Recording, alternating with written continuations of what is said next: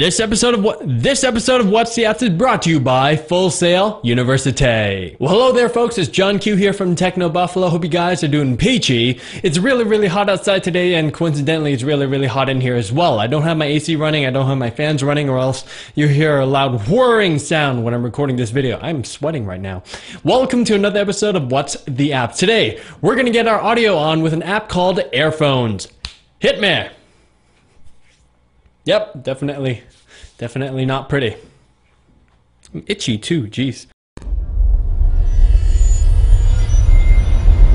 Airphones is a nifty little application that allows you to stream your desktop's audio onto your iOS device over Wi-Fi. And that's about it, really. It has a very simple UI with only two real controls, volume and turning the thing on and off. The main reason why I decided to check out this application was because of mobility. Now, I use my headphones pretty often when I'm on my computer, so anytime I need to venture off my computer to, say, go to the washroom, head on down to the kitchen, or go outside to punish nature by frolicking with woodland creatures and so on, I need to disconnect disconnect my headphones and reconnect my headphones onto my computer every single time. And if you make these trips often, it does get really, really annoying. And you know, frolicking doesn't happen itself. Airphones really does work, and it's really nifty to be able to hear stuff like conference calls while walking about in the house. But the app itself is really temperamental. Firstly, the app doesn't natively support macOS Lion, so you gotta do some tweaks to get it running. It's a pretty simple procedure, which I followed from this guy. You'll be able to check out his video from Airphones website or from his YouTube channel. Secondly, it doesn't stream all audio sources from your computer. No matter what I tried, I couldn't stream audio from Adobe Premiere Pro. I've tried changing the audio output settings, fiddling and faddling with whatnots and who's it, but that just made things worse, resulting in several reboots to get Airphones working properly again. And most importantly, although the audio does stream relatively in real time,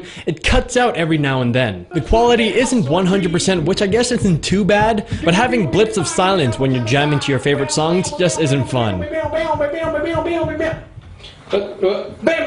Well, I was throwing off my groove.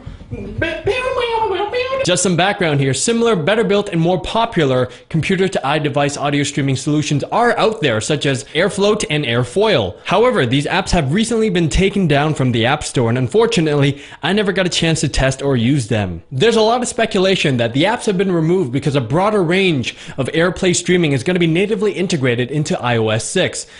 Makes sense, I guess. We'll just have to wait and see. And speaking of iOS, I'm gonna take some time to thank our friends at Full Sail University. You guys and I both know that the mobile app industry is on fire right now, okay? Full Sail University's online mobile development bachelor's degree program can help teach you the skill sets you need to take advantage of those emerging opportunities. In this degree, you'll learn both the programming and business side of mobile development so that you can concept, develop, deploy, and market an application from start to finish. You'll explore advanced programming languages, visual frameworks, usability principles, and app deployment for both iOS and Android. Through Full Sail's Project Launchbox program, students receive a MacBook preloaded with industry software, plus iOS and Android devices. Courses are delivered through Full Sail's immersive online education platform, which maximizes the capabilities of the Mac, giving you a learning experience unlike any other. 15, that's 1 5 billion applications have been downloaded from the App Store, and Android's market share is expected to grow over 600% this year. If you're ready to master the technology and software to compete in this rapidly growing industry,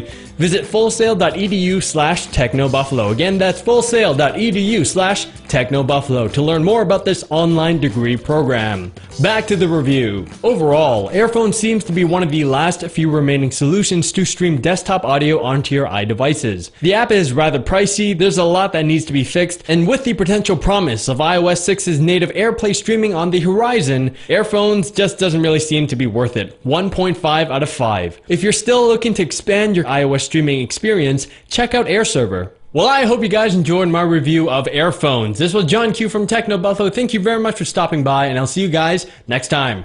Latest!